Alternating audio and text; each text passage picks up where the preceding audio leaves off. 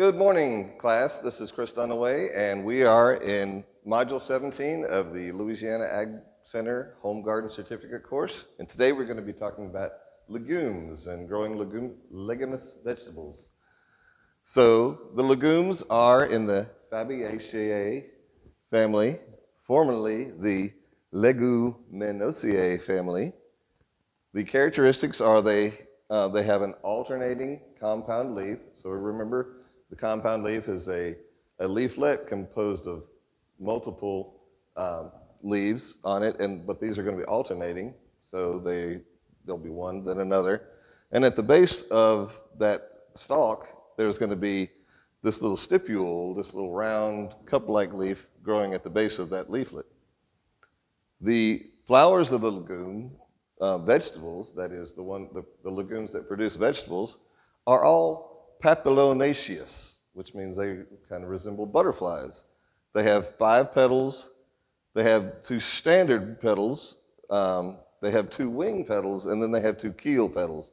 So you see, the keel petal makes it look kind of like a little boat with the stamens in there, all nestled in like comfortable passengers. They are nine fused stamens on one single um, stamen. So basically, they grow together. Uh, they fuse as they're developing. They come out, and there's nine on the end, but they all are producing the pollen there. The, um, the fruit is a legume, so it's a pod, and it's a simple fruit, and it's usually dihiscus, which means it, it opens along a seam uh, on two sides. And if you uh, ever opened a peas or something like that, you'll know that you split that pod in two and it opens up right down the middle like a zipper. Most plants in the Fabaceae family uh, form symbiotic relationships uh, with bacteria which live in the soil. And the nodules uh, form on those roots that fix the nitrogen.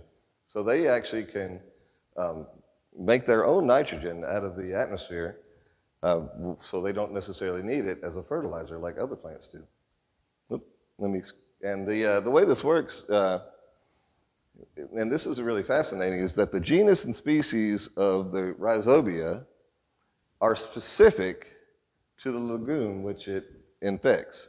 So for every type of plant that you're going to be planting, uh, peanut or uh, a pea, there is a certain rhizobia that's already present in the soil that can um, infect it. And if you plant the wrong plant and the wrong bacteria is there, uh, you won't necessarily get that nitrogen fixing activity. So um, it's the combination, this, uh, this symbiotic relationship that makes that work. So what happens is, in step one, is you plant the plant in the ground and the roots grow. And this rhizobium, this bacteria, will grow one of its little filament thread like things into the cell wall, penetrate, and then start reproducing inside of the root. And now we've dealt with root knot nematodes, and we've seen something similar to this, which is a bad thing for the plants, but this is the opposite. This is actually helping the plant. Uh, and by the plant giving it the things that the bacteria needs to survive, the bacteria is giving the plant something in return. And some of the um, common legumes that we uh, are, are, used to eating are soybeans, uh, sugar snap peas, fava beans, lima beans, peanuts, lentils, chickpeas, cowpeas, snap beans, and jicama. And jicama is interesting because maybe we, you don't even realize this is a, uh, a legume we're eating because usually we eat that large tuber the, um, instead of the beans. Now, peanuts are really fascinating because even though they grow underground, they start off above ground. So when that flower gets pollinated, the stalk will dip down and touch the soil, and then that, that um, spike will grow the peanut into the ground. So that's where the peanut develops, even though it's not actually part of the roots. For growing, the conditions are um, and again, this is interesting because we have cool season legumes and warm season legumes. So we're approaching the cool season now. So we're going to be start, be, start thinking about planting the cool season crops, which is um, sugar peas, snow peas, and fava beans. Now it's very much uh, too hot. Actually, it's still part of the summer season, so you, you may be able to get some of these warm season crops in uh, as, at the, as a last minute crop. And you have um, peanuts and other beans. And for the cool season crops, the germination optimum temperature is 68 to 75 degrees. So that's still pretty warm. Um, but it's definitely much later in the season than, uh, like, I think October is about the time in South Louisiana you're going to plant a lot of these. And the uh, summer crops, 75 to 85 degrees, so that's got a much warmer germination temperature, so you can, you can uh, germinate these in the, in the warmer weather. And you do direct seed all these legumes.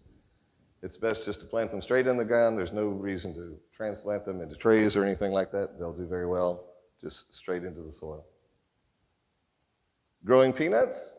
Now, this is something that uh, we could be growing, but we aren't really growing that many peanuts. But why not? Why are we not growing very many peanuts in the garden? I mean, they're a perfectly fine plant. They do well. They are delicious and can be used for many different things.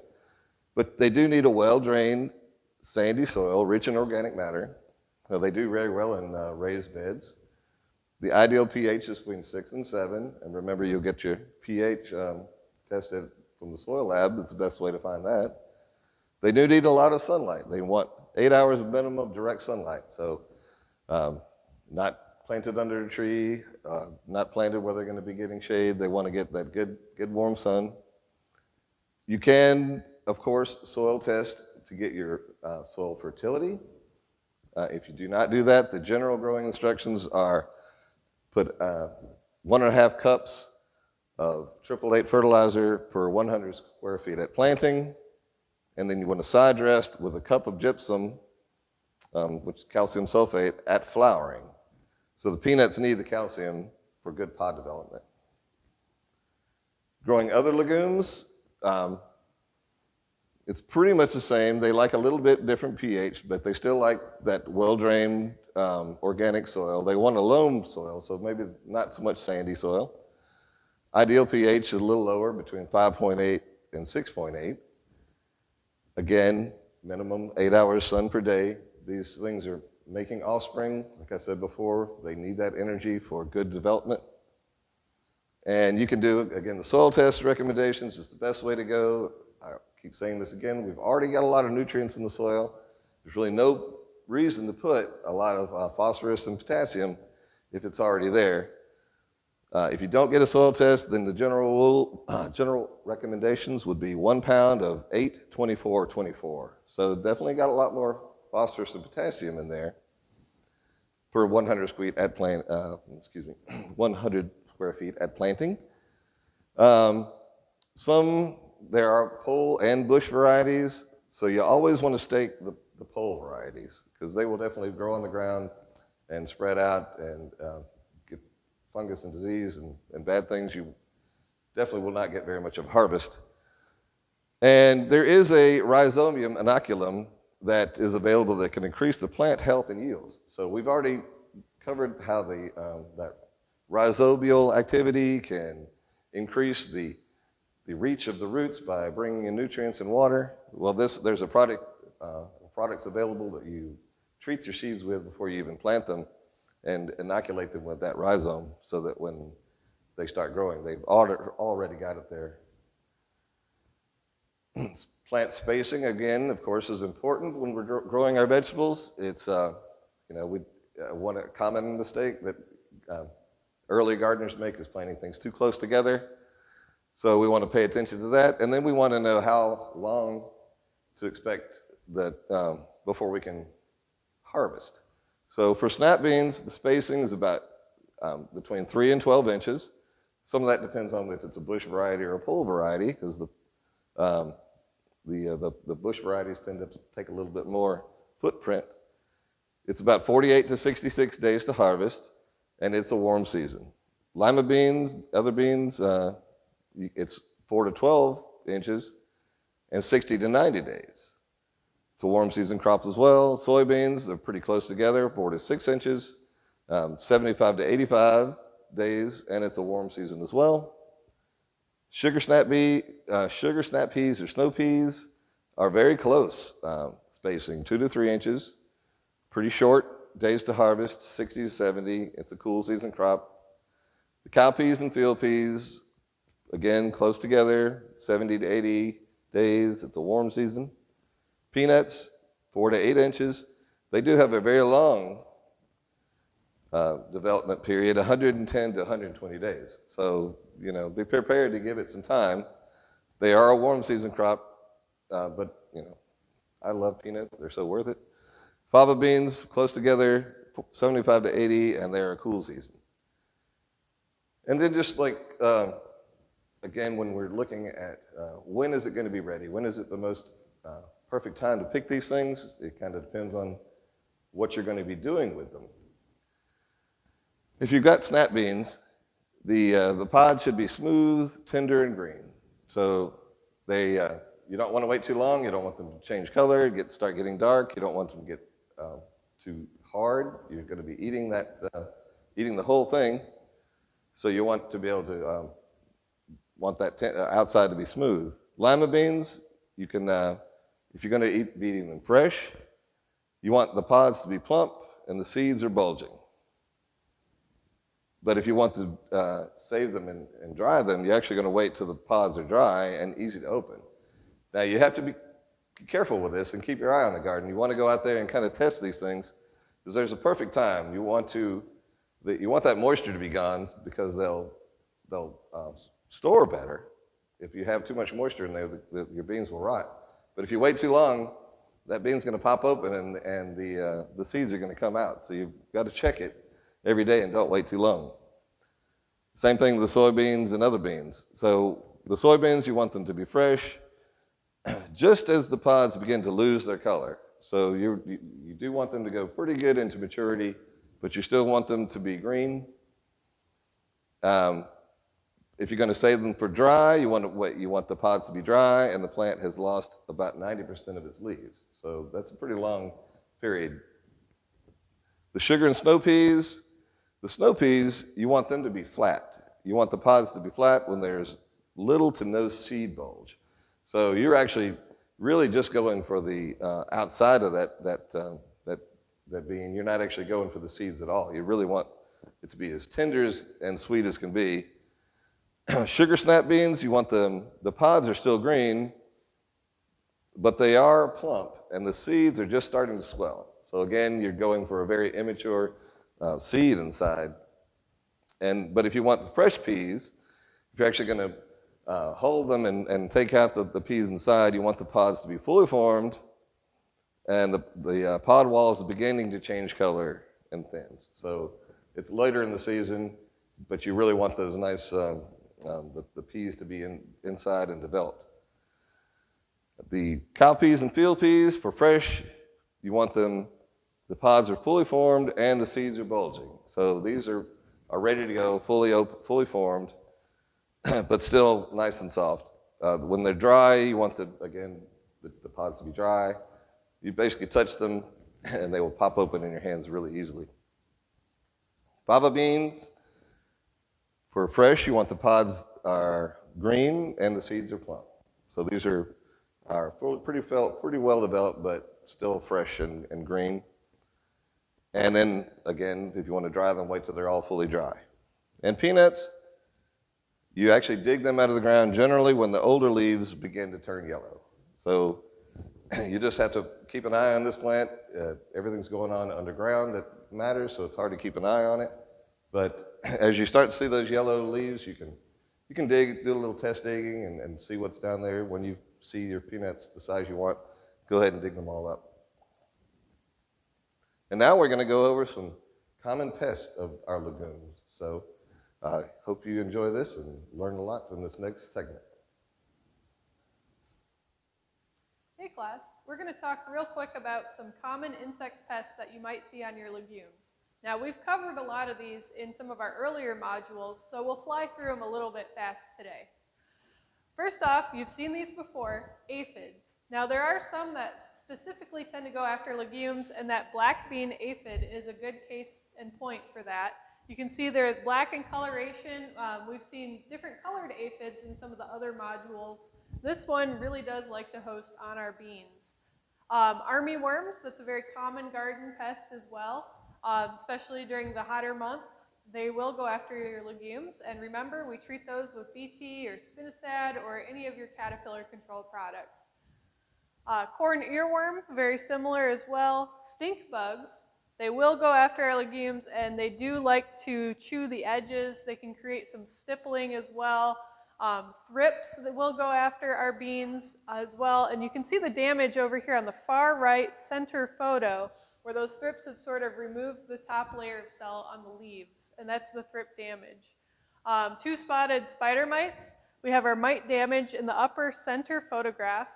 And a lot of times people will email us photos of this damage and say, what's this rust on my beans or my peas? And that's typically a, a mite damage. They create that stippling pattern. So it's not actually a rust or a fungal issue, it's actually an insect or an arachnid issue. Um, white flies will actually go after a lot of legumes as well. Um, and remember, when our white flies are present, you can kind of wave your hands over those plants and they fly up in clouds. So very hard to control because they move a lot. Um, but remember, we did cover some of that in earlier modules and what to do if you do have them. Spider mites are a very common problem in hot weather. And remember, you'll see that webbing and if you look very, very closely, the mites themselves, so it might not be a spider web or a harmless spider web on your plants if you see that webbing in combo with some of this stipple damage as well. So check for spider mites if you see that. The Mexican bean beetle is one that really goes after a lot of legumes here in the New Orleans area. I actually got a call about this the other day. Um, the adults are oval. They're actually quite large, about a quarter inch long.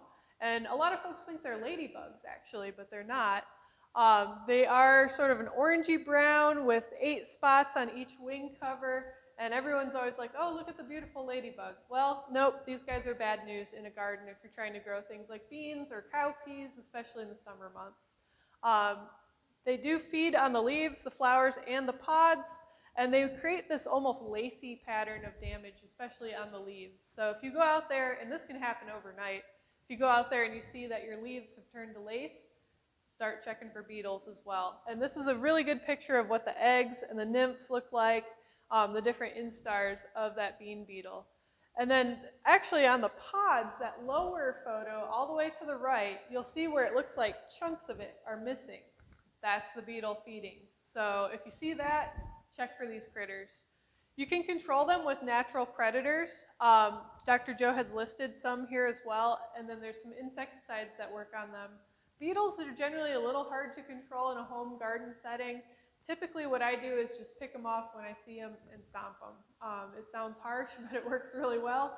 And especially if you're an organic gardener, really go for those natural predators or manual removal. And picking things off is manual removal in your integrated pest management. Don't forget.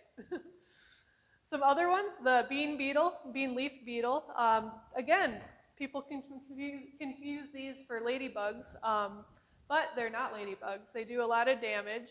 They come in many different colors and colorations and patterns. And I've mostly seen the sort of reddish or the tan with the four spotted ones here in the New Orleans area, but there is a lot of variation. Uh, the larva is almost like a little grub. That's that lower right-hand corner image um, you know, that's actually a beetle larva. The larva will actually feed on the roots and the adults feed on the canopy of the plant. So it's a one-two punch similar to some of the other insect pests that we've seen in earlier modules where you see the damage up top, but then you might not know what's going on below the soil surface with these larvae feeding on the roots. So if you see a lot of wilting or collapse of your bean or legume plants, you might want to pull a couple off and see if you can find some, some of these guys. Control of these bean leaf beetles can come from insecticidal soap, neem oil, that's a good one a lot of folks reach for, spinosad, pyrethrin, and birethrins. This next one has actually shown up at my house recently, and that's the cowpea curculio. And this is a little weevil-like insect, actually. They're about a quarter inch long. They're black, and they have an elonged mouth part. So it's like a big, long snout, and that's how you can recognize them very easily. And the larvae are these pale, level maggots that feed on your cowpeas as well. Um, they feed on the seeds inside the pods, but also the leaves. The adults are usually visible on the leaves. The larvae, I've seen them inside the pods, especially as I'm trying to shell my cowpeas. Very annoying. Um, but these guys do pop up in the summer. Be aware of them, especially if you're growing anything like purple hull peas, cow peas, crowder peas, um, which a lot of folks do in southern gardens. Keep an eye out for them. And you can get parasitic flies and wasps that provide some natural control for these guys. Um, you can get some different fungi that will attack them specifically. Neem is a good one, and again, we've got some insecticide options as well. The lesser cornstalk borer, again, that's a moth actually. You can see the male and female on the far right-hand corner photos.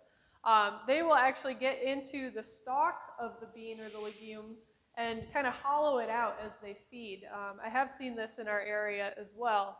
The adult moths are three quarters of an inch long. Again, they're what we would call a boring brown moth. Remember, if we see that in our gardens, chances are pretty good it's a pest species, something to keep in mind. And then the actual larvae are bluish green with yellowish stripes. Um, and they're very distinctive. They've got kind of a banded pattern to them. The damage, um, they do feed on the roots and they tunnel into the stems as we had discussed. Um, they can girdle the stems so that, you know, water and nutrients are unable to flow through the vascular tissue as they're um, getting in there. And you see how this plant on the far left has wilted and there should be ample water in that field or that environment. That's a good clue that there might be something feeding on the inside of that plant. So it's always a good idea to scout our gardens pretty frequently and check for little critters like this. If everything else seems like it's fine, you've watered, you've fertilized, you've spaced your plants correctly, you're keeping up with your disease control, you might have an insect problem. So don't forget. and we have several control options for these as well. Remember, they're a soft-bodied um, caterpillar that's feeding, so a lot of our caterpillar controls will work on them. The tarnished plant bug, we do get a lot of calls about this one, especially end of July into August. Um, it is a true bug. The adults are about a quarter inch long, and they're actually quite colorful and beautiful to look at. Um, Again, bad pests though, so you don't want to keep them around. The nymphs are actually very small and green. They can get confused at times for a large aphid. I've seen folks do that, so just keep in mind if they're, if they're that big, they're probably not an aphid. Uh, they transmit diseases. That's the big problem here. They vector as they're feeding. They'll move diseases from one plant to the other. Um, they can have terminal growth, yellow or distorted leaves. Um, you can see the feeding damage here on the bottom uh, set of photos as well. And sometimes the flowers where they've fed on the bud fail to develop and open properly. They get kind of distorted um, and then they fail to pollinate, fail to create a pod or anything edible on our plants. Um, these do overwinter and live in the environment in weeds. So it's important to keep the area sanitary around your garden by weeding on a regular basis, maybe mowing along your fences or the edges of your plot, um, because that's where those are living the rest of the year when you don't have your crop in the ground. Um, it's providing a habitat for them. There are some parasitic beneficials, and you can use carbaryl. There's a few different options um, that work on the tarnished plant bugs, but the main, main way to control them is good sanitation in your garden, keeping debris removed, keeping any um, dead or diseased plants out, and then keeping your weeds down. That's really the best method of control, and we should be doing that anyway. The banded cucumber beetle, we did talk about this one, or we're about to with the cucurbit section. Um, it's actually a very beautiful insect. People really like this one, but it can do a lot of damage in our gardens, and it goes for a lot of different garden plants, including our legumes. They're typically maybe about five to six millimeters long. They're very small. They're shiny, um, very noticeable in the garden, usually on top of the plants. They're in the top part. Um, they do have a larva that's that yellowish kind of white larva there on the bottom, and they can have a yellowy color to them as well. That's kind of how you can tell them apart. The larva will only feed on the roots, so unless you're pulling up your plants and looking for them and slitting those roots open, you probably won't see them. Um, but a lot of folks do notice the adults when they're in the garden. They're very active, especially during daylight hours. Uh, the adults will feed on all plant parts, and they can cause defoliation if there's a large enough population of adults feeding in the canopy.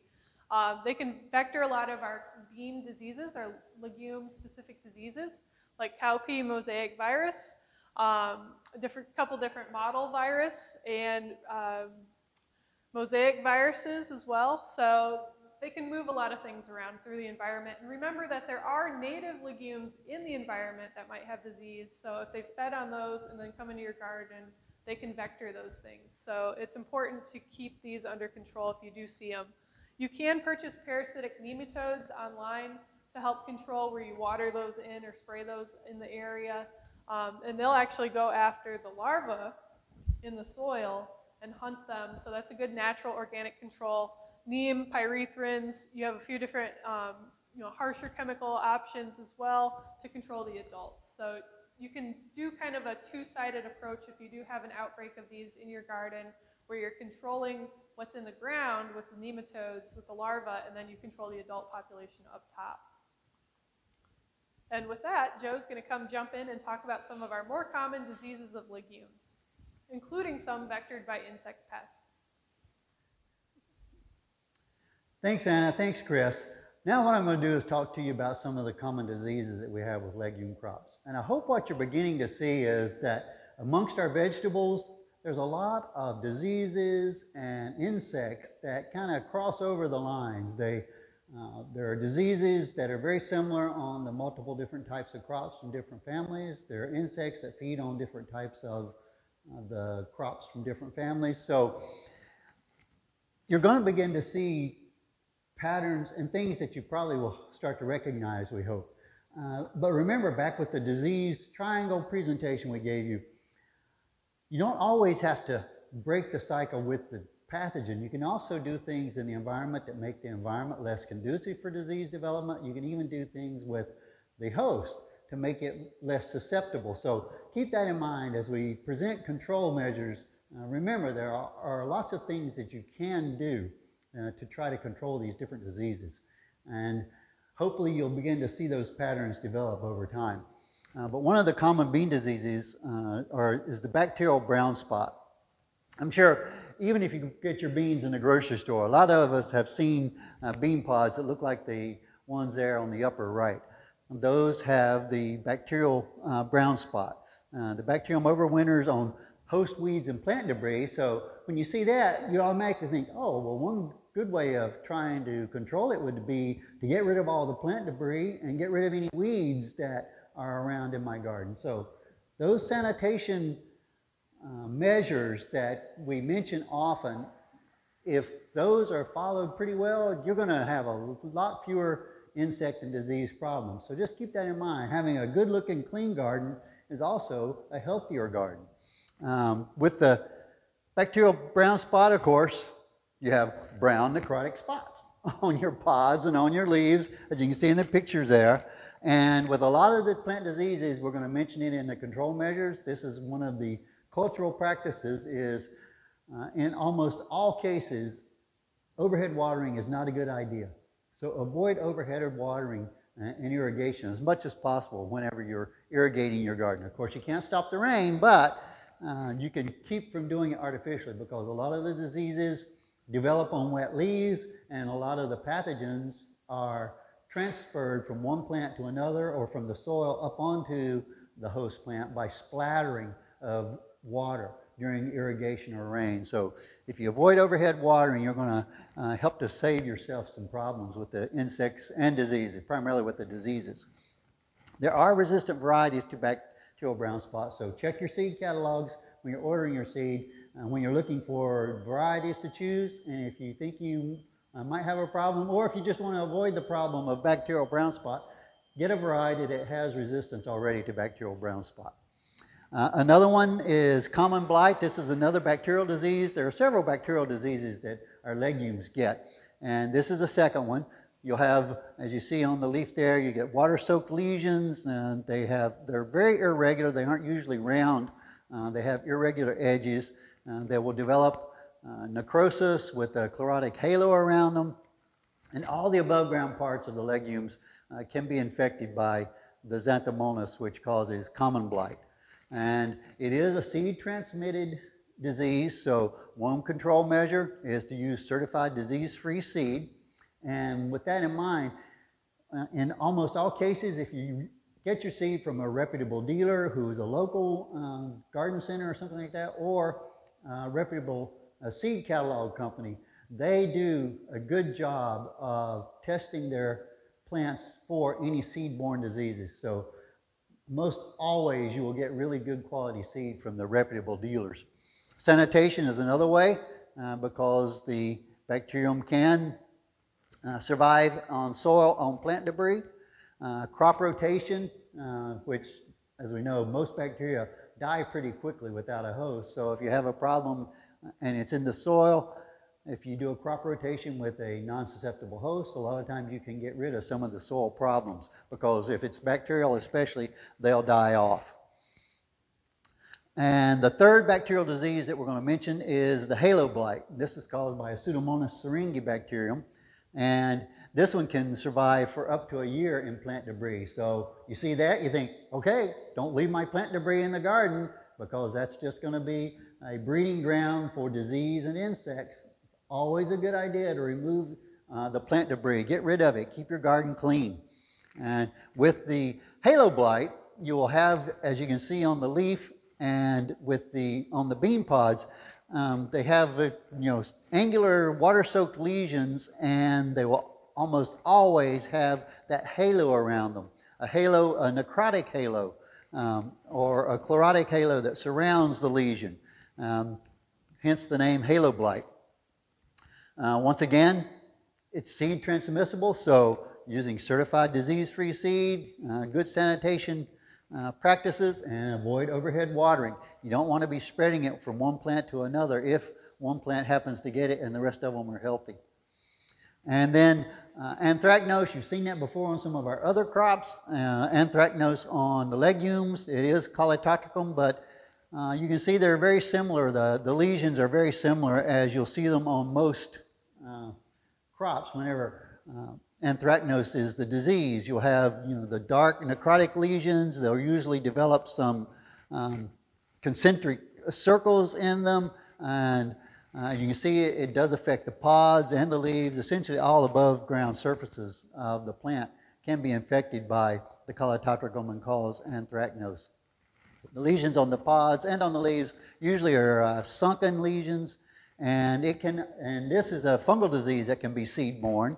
So once again, use certified seed uh, to avoid get bringing it in on the seed. Sanitation. There are some uh, fungicides that you can use, and this particular fungus can survive up to two years on crop debris in the soil. So once again, stay clean. Start clean, stay clean. You can avoid a lot of problems. Uh, bean rust, this one is pretty common. Uh, you see this one a lot uh, on especially uh, snap beans and green beans, things like that. Uh, I, I, see this one quite often. Uh, it can survive in the soil on plant debris. So once again, staying clean. And this particular fungus, it can even survive on the poles that you use to trellis your pole beans. So if you have rust problem in your bean garden and growing area, you also want to either sanitize your stakes that you're using for the pole beans to climb on or replace them with others if you uh, have that problem. That's just a way of avoiding and having inoculum show up. And of course, with rust, you got the name, you're going to see the color, the rusty color spores that are produced. And so you want to remove the plant debris. As we said, it survives. And then there are some, uh, like chlorothalonil sulfur, some fungicides that are effective against rust. And once again, avoid that overhead watering. You just don't want that to happen. Now, alternaria uh, leaf spot, you've seen alternaria come up before on other crops. Uh, you're going to have similar symptoms on legumes as you do on other crops as far as the way the, the lesions look. They're going to be uh, brown lesions, they're regular lesions, they have the concentric zones in them. Sometimes the older lesions will drop out and give you a shot hole effect. Uh, they'll co coalesce and completely cover the leaves. Uh, once the conditions are right for this disease to develop, it can develop very fast. So if you have plants that you see it uh, starting to develop on those, go ahead and either get rid of the plant parts if it's just a few leaves are infected or get rid of the entire plants. By getting rid of those plants, you're reducing the inoculum level and it may uh, help keep some of the other plants healthier. Uh, if you keep the plants very healthy as far as nutrients that you provide for them, a lot of times the plants can resist some of these diseases or at least tolerate them and not be severely affected. And there are a few fungicides that you can try. Um, now, this is one that you're going to see often uh, in a lot of our crops and our veggie crops uh, is any disease that might be called white mold, it can be called southern blight, different things like that. But if you have sclerotinia in there as the genus of the fungus, then that is a really tough fungus. There's Sclerotinia rossii, Sclerotinia sclerosum, Sclerotinia sclerotiorum. All of the Sclerotinia fungi produce uh, sclerotia, which are the small black hard survival units that they produce. And in most cases, the Sclerotinia, depending on which species it is, they can survive anywhere from 5 to 20 years in the soil. And there are no really no fungicides that are labeled for use on uh, our vegetables for the different uh, sclerotinia that may show up. Most of the time you can uh, see the white fungus growing uh, a lot of times, especially at the base of the plant uh, where the soil line is because it is a, a soil-borne fungus. Um, it can also be transmitted through the seed. Uh, so you, um, at least one way you can try to control it is use the you know, certified disease-free seed. And a lot of times if our plants are really lush beyond the point of health in, in the fact that we got too much nitrogen, um, they become a little more susceptible to the different sclerotinia. Uh, so um, keep that in mind.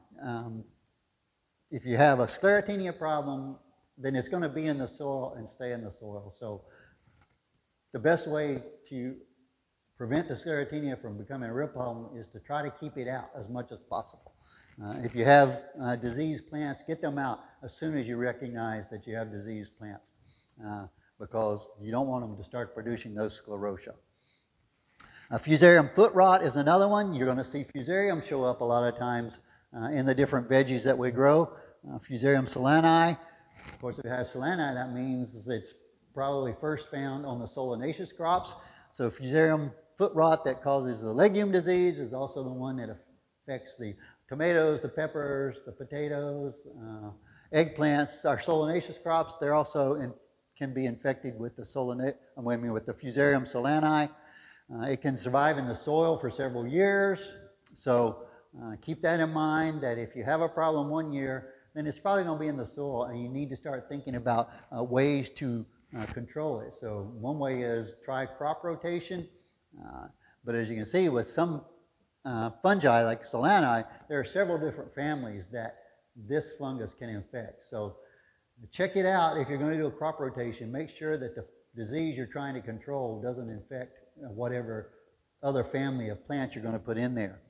Uh, as you can see uh, with the different pictures that we have here, one thing that you'll you're probably coming to uh, recognize is that if you open split open a stem on a plant down in, especially down in the root area or anything, it should be very nice and white or very light green.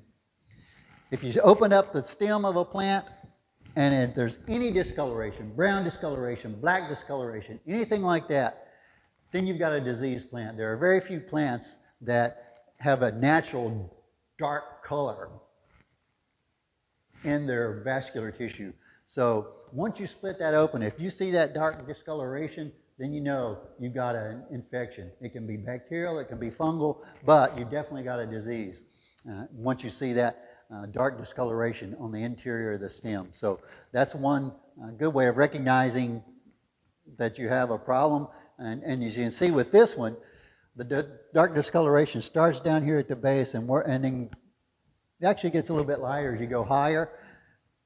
That's an indication of where the darkest area is, is probably where the infection took place.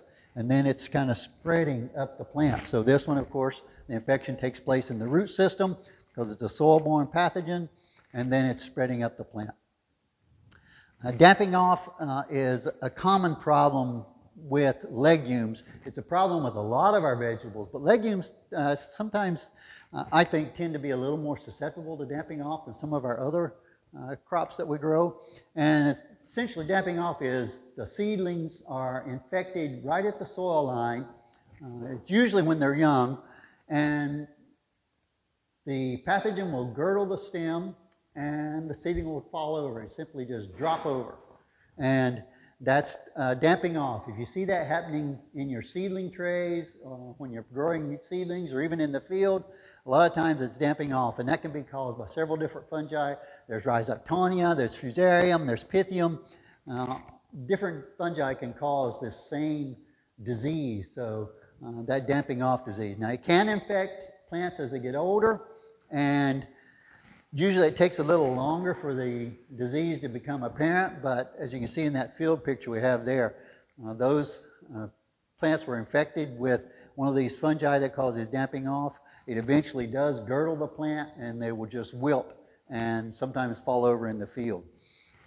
One good way to prevent uh, this disease is to uh, pre-treat the seed with a fungicide before you plant it.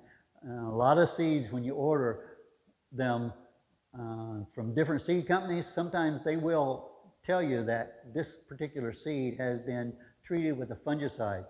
Um, in beans, they usually treat with Thiram, uh, which gives the beans a kind of a, a pink color on the outside. And this is a way of preventing these soil-borne diseases by pre-treating the seed with the fungicide. And um, usually varieties of plants that are very, very susceptible to uh, damping off will be pre-treated. So that's one good way of controlling uh, this disease is just never let it attack. You protect the seedling from the very beginning so it doesn't have a chance to infect. And then, of course, there are the viruses. There are quite a few different viruses uh, that legumes can get. Uh, there's the common mosaic, the mosaic necrosis virus. Um, those two will cause the, you know, the mosaic pattern, which we talked to you about before, the light, dark, light, dark, mosaic. Um, those two different ones are aphid transmitted, as is the bean yellow mosaic virus. Uh, the bean yellow mosaic virus, as you can see in the top right there, it gives a bright yellow color to uh, the leaves. Uh, a lot of times you'll have distortion with the different mosaic viruses as well. Uh, beet curly top virus, now this one's leafhopper uh, vectored. So um, still insect vector, but it's a different insect that's doing it. And with this one, you'll get uh, the plants will be stunted. And the curly top, why would they call it curly top virus? Because it causes the tops of the plants to get all misshapen and, and take on this appearance like here, where you know you say it's kind of curled. The leaves are curled. The top may be twisted somewhat. And this is a being infected with beet curly top virus. And you can see it also causes the chlorosis. And the best way to control virus diseases uh, are to find resistant varieties and also to keep the weeds out of your garden because a lot of times the viruses and the vectors will live on and live in and feed on wild weeds that are of the same family of the vegetables that you're growing. And so your plants may be perfectly healthy, but the weed that grows up in the garden has the virus and the vector feeds on it and then moves over to your garden plants and transmits the virus. So it's always a good idea to keep the weeds down. They're competition for your plant. They can provide habitat for different diseases and insects. So keeping the garden clean is a really good way. Now with this, these particular viruses, uh, most of the ones I mentioned here, trying to control the vector is not a, an effective means of controlling the disease because the virus is transmitted so rapidly that as soon as the insect uh, sticks its little proboscis into the plant and starts to feed, it will transmit the virus. So uh, anything you do to try to control those vectors is not going to really be effective against these different viruses. Now, even though we told you that there's some problems that you encounter still, using uh, the different techniques that we talked to you about, you can get a beautiful harvest from your garden of legumes. And so our mantra of start clean, stay clean, good sanitation, uh, using disease-free seed, disease-free uh, plants, having soil with good drainage, keeping the plants healthy through fertilization, and all those cultural practices, that will go a long way in helping you to have a healthy garden that doesn't really have that many disease and insect problems. And this can be your table. Okay, thanks. We're going to move on into um, other different families of vegetables, but I hope you enjoyed this one on legumes.